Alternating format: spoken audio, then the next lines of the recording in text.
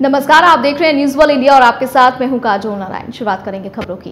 राजस्थान मध्य प्रदेश में बारिश के चलते कोटा बैराज से भारी मात्रा में छोड़ा गया पानी खतरे के निशान से 130 पार कर गया है। पिनाहट, चंबल नदी घाट पर जलस्तर बढ़ गया है। जिसकी वजह से आगरा में काफ़ी लोग परेशान हैं। कोटा बैराज के सर्वाधिक 12 लाख क्यूसेक चंबल नदी में पानी छोड़े जाने से तटवर्ती इलाकों में हड़कंप मचा हुआ है। गाँव गाँव प्रशासनिक कर्मचारियों का चौकियों पर डेरा है। पानी बढ़ने से रात के समय ग्रामीणों ने गाँव से ऊँचे स्थानों को पलायन किया है। चंबल नदी के कई गाँव में बाढ़ का खतरा एक दर्जन से ज़्यादा गाँव के संपर्क मार्ग टूटे हुए हैं। बाढ़ क्षेत्र में हर संभव सहायता मदद को प्रशासन का प्रयासरत तटवर्ती इलाके के क्षेत्र में किसानों की फ़सलें पूरी तरह से बर्बाद हुई हैं। चारों तरफ़ सिर्फ़ पानी ही पानी नज़र आ रहा है। तस्वीरों में भी आप देख सकते हैं।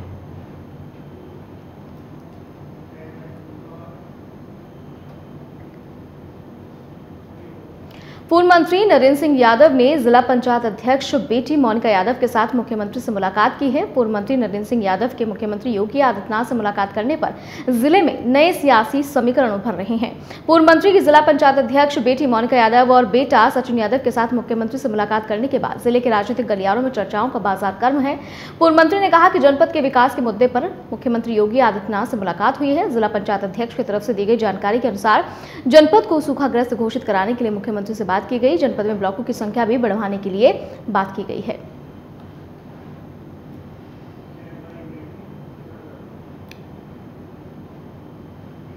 उप मुख्यमंत्री केशव प्रसाद मौर्य का एक दिवसीय अमेठी दौरा है आज। स्थानीय भाजपा के पदाधिकारियों के साथ बैठक और विभिन्न विकास योजनाओं का निरीक्षण करेंगे। उप मुख्यमंत्री केशव प्रसाद मौर्य एक दिवसीय जनपद भ्रमण के लिए अमेठी आज पहुँचेंगे। सुबह 10 बजे हेलीपैड गौरीगंज से पीडब्ल्यूडी गेस्ट हाउस वो पहुँच चुके हैं। गौरीगंज में आगमन होगा सुबह 11 बजे, यानी कि अब से कुछ ही देर बाद प्रतिनिधियों के साथ वार्ता करेंगे। इसके बाद मुख्यमंत्री यहाँ पर ये जो योजनाएँ चलाई जा रही हैं, उसको लेकर भी चर्चा हो सकती है। करीब डेढ़ बजे ग्राम पंचायत से भुई विकासखंड गौरीगंज में अमृत सरोवर का लोकार्पण भी कर सकते हैं। प्राथमिक पाठशाला आंगनबाड़ी केंद्र और सामुदायिक शौचालय का निरीक्षण करेंगे। ग्राम चौपाल का आयोजन होगा। ग्राम पंचायत सोगरा विकासखंड गौरीगंज में राशन की दुकान का निरीक्षण करेंगे। ग्राम पंचायत सिम्भुई विकासखंड गौरीगंज में गौशाला, पंचायत भवन का निरीक्षण करेंगे। करीब दो बजे पीडब्ल्यूडी गेस्ट हाउस गौरीगंज में लंच होगा, विश्राम होगा। इसके बाद दो से तीन बजे तक कलेक्ट्रेट सभागार गौरीगंज में स्तरीय अधिकारियों के साथ समीक्षा बैठक होगी। करीब चार बजे कोविड कमांड सेंटर अमेठी का निरीक्षण करेंगे और चार से साढ़े चार बजे तक स्वास्थ्य केंद्र गौरीगंज संयुक्त जिला चिकित्सालय गौरीगंज का निरीक्षण करेंगे। इसके बाद उप मुख्यमंत्री केशव प्रसाद मौर्य करीब साढ़े चार बजे पीडब्ल्यूडी गेस्ट हाउस गौरीगंज से लखनऊ के लिए रवाना होंगे। तो मिनट टू मिनट कार्यक्रम, डिप्टी सीएम केशव प्रसाद मौर्य का।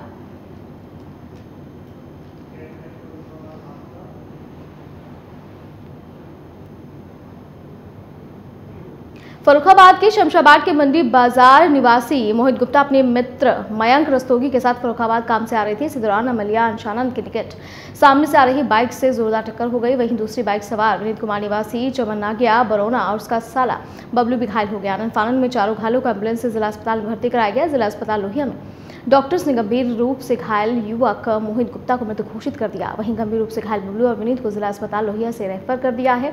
थाना शमशाबाद क्षेत्र में शमशाबाद फरुखाबाद मार्ग पर गाँव अलिया आशन के पास का पूरा मामला।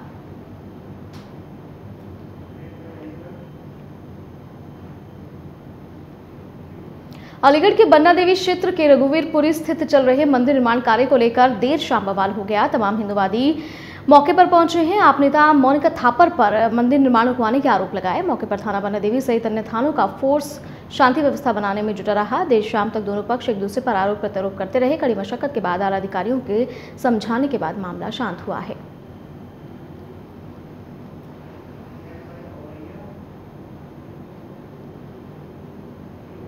और अब खबर औरैया से, जहाँ दिव्यापुर थाना क्षेत्र के फफून रोड में स्थित एक चार मंजिला कपड़े के रेडीमेड शोरूम में आग लगने से बड़ा हादसा हो गया।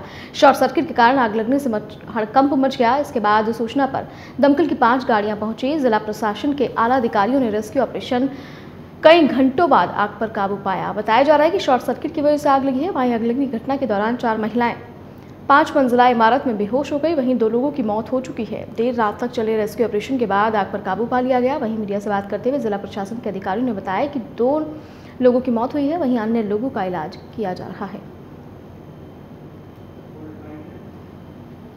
आज शाम को आठ बजे दिव्यापुर कस्बे के फफूंद रोड पर एक गारमेंट्स का शोरूम है चार मंजिला। वहाँ शॉर्ट सर्किट से आग लगने की सूचना प्राप्त हुई। इस सूचना पर फायर सर्विस औरैया के फायर टेंडर साथ ही साथ दिव्यापुर के एनटीपीसी और गेल के फायर फायर टेंडर मौके पर पहुँचे और उन्होंने वहाँ फायर पर काबू पाया।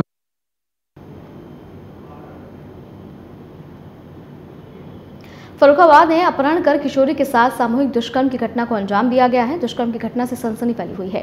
थाना मोदरवाजा के ग्राम नेकपुर खुर्द निवासी पीड़ित दलित पिता ने ग्राम हाथीपुर निवासी बशीर खान और उसके पुत्र के विरुद्ध दुष्कर्म की रिपोर्ट दर्ज कराई है। बीते बीस अगस्त को आरोपी रात में दलित के घर घुस गए और उसकी तेरह वर्षीय बेटी को जबरन ले जाने लगे। विरोध करने पर जाति सूचक शब्दों का इस्तेमाल किया गया। घर आने पर बेटी ने परिजनों को बताया कि शादाब और वसीम ने उसके साथ दुष्कर्म किया है। रिपोर्ट में पिता ने कहा है कि मेरे साथ आगे भी कोई घटना हो सकती है। इस पर जल्द से जल्द एक्शन लिया जाना चाहिए। पापा नीचे लेते थे और हम छत पे लेते थे।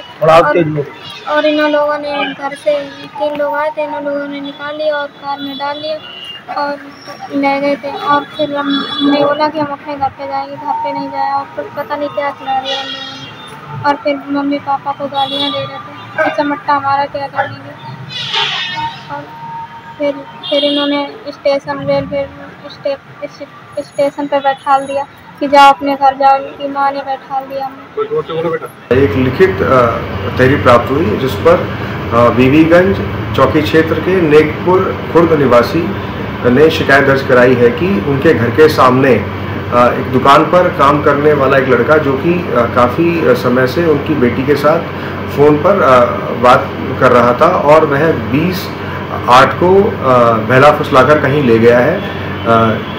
तत्काल सूचना को संज्ञान में लेते हुए एफआईआर दर्ज कर जो लड़की थी उसको बरामद करने का थाना पुलिस के द्वारा प्रयास किया गया एवं घर वालों के सहयोग से लड़की को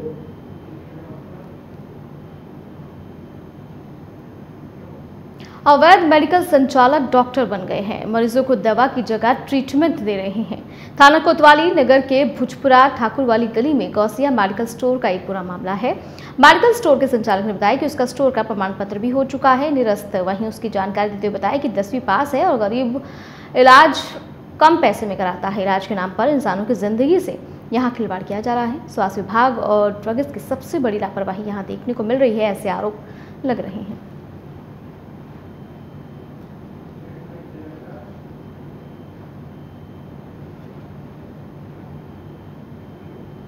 प्रयागराज के श्रृंगवेरपुर चौकी प्रभारी आशीष राय को घूस लेते रंगे हाथों पकड़ा गया। आशीष राय प्रयागराज के श्रीगेवरपुर चौकी इंचार्ज आशीष राय को घूस लेते रंगे हाथों गिरफ़्तार किया गया है। मंगलवार को एंटी करप्शन लखनऊ की टीम ने पुलिस चौकी पर भी दारोगा को पकड़ा। उसके कब्जे से रिश्वत के दस हज़ार बरामद किए गए हैं। दारोगा के खिलाफ थाने मुकदमा दर्ज किया गया है। आरोप है कि मुकदमे में नामजद व्यक्ति को निकालने से लिए चौकी प्रभारी ने सिंगेश्वर पुत्र निवासी अध्यय कुमार से पैसे मांगे थे।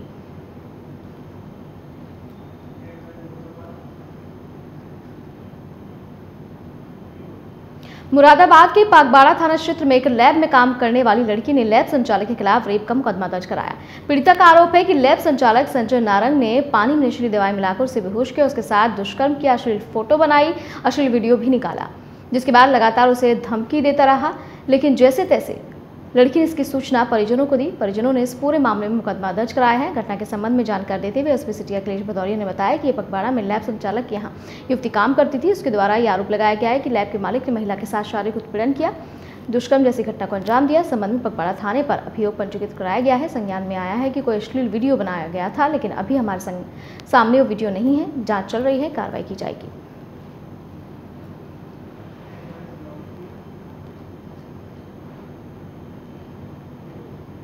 श्रावस्ती में महिला सुरक्षा के दावे फेल हुए हैं। ऐसा हम नहीं कह रहे हैं, ऐसा ये मामला कह रहा है। पुलिस के सिपाही महिलाओं के भक्षक बन गए हैं। पीड़ित महिला ने चौकी पर तैनात आरक्षी पर छेड़छाड़ अश्लील कृत्य का आरोप लगाया। लक्ष्मण नगर चौकी पर तैनात आरक्षी धीरेन्द्र कुमार मिश्र पर महिला के साथ छेड़छाड़ अश्लील कृत्य का आरोप लगा है।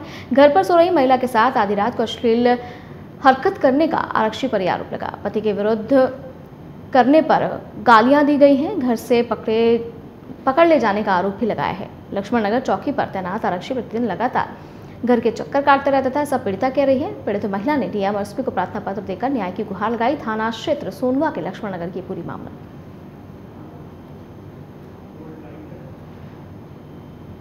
कल में सोए थे। हमारा आदमी आया, काम करके खाना पानी खाई। फिर काम, फिर सोए हुआ था। तो कल बारह बजे रात के लिए हमें आदमी का टॉयलेट लगा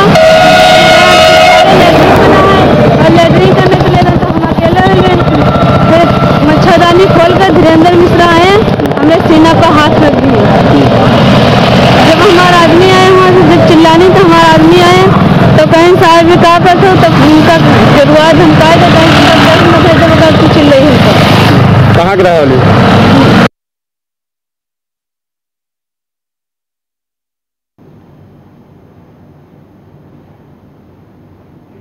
अलीगढ़ के कोतवाली ग्लास के सासनी रोड के पास जन्मदिन की पार्टी में अवैध तमंचे से फायरिंग की गई। फायरिंग का वीडियो 7 जुलाई का बताया जा रहा है। फायरिंग का वीडियो सोशल मीडिया पर वायरल हुआ। वायरल वीडियो में युवक तमंचे से फायरिंग कर रहा है। जन्मदिन मनाने वाला युवक नगला माधो गोंडा रोड, कोतवाली ग्लास का बताया जा रहा है।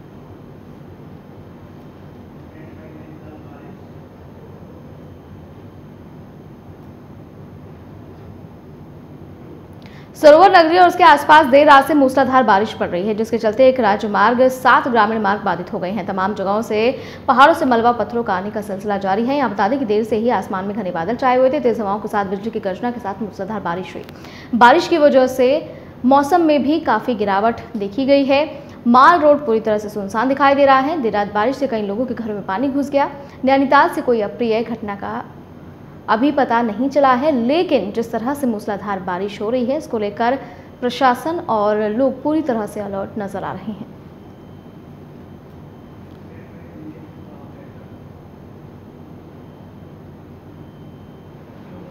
दिनेशपुर नगर पंचायत सभागार में आम आदमी पार्टी के जिला एवं विधानसभा पदाधिकारी, कार्यकर्ताओं की बैठक की गई। बैठक में आगामी निकाय चुनाव और नगर निकाय के चुनाव संबंधित आम आदमी पार्टी की क्या भूमिका रहेगी? साथ ही पूरे उत्तराखंड में नगर निकाय एवं निकाय चुनाव में आम आदमी पार्टी किस तरह से मंथन करेगी?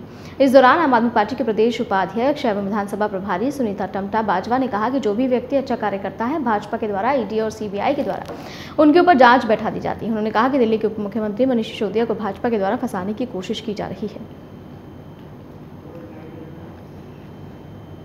देखिए जिस तरीके से आपने मनीष सिसोदिया जी की बात कही ये तो भारतीय जनता पार्टी का एजेंडा है कि जिस जो अच्छा काम करना चाहते हैं उस पर सीबीआई ईडी की जाँच बैठा दी जाती है। जबकि मनीष सिसोदिया जी जो हैं वो बिल्कुल आ, इस तरीके के काम में नहीं है। मैं ये कहना चाहती हूँ भारतीय जनता पार्टी के लिए कि अच्छे काम वालों को ये हमेशा इस तरीके का डर जो दिखाना चाहते हैं, वो डर आम आदमी पार्टी जो है, वो तो एक कट्टर ईमानदार पार्टी है। वो इन इन तरीके के डर से, डर के आगे बिल्कुल नहीं झुकेगी और दमखम से जनता के साथ खड़ी रहेगी। देखिए, अभी नई कार्यकारिणी का गठन हुआ है ज़िले में। और जिला कार्यकारिणी की बैठक थी। इस कार्यकारिणी में विधानसभा कार्यकारिणी और जिला कार्यकारिणी के सभी जसपुर, काशीपुर, बाजपुर गजरपुर विधानसभा के सभी पदाधिकारी जो नवनियुक्त निर्वाचित हुए हैं, वो सभी लोग यहाँ आज पहुँचे हैं। और आज का मीटिंग का एक मुख्य उद्देश्य था कि आम आदमी पार्टी उत्तराखंड में पूरे दमखम के साथ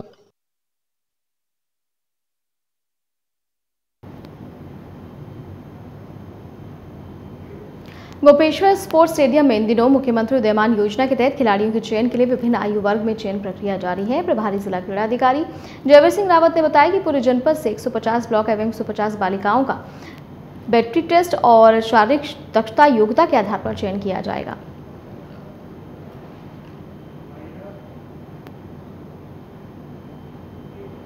और इसी के साथ फ़िलहाल खबरों में इतना ही। आप बने रहिए न्यूज़ वन इंडिया के साथ।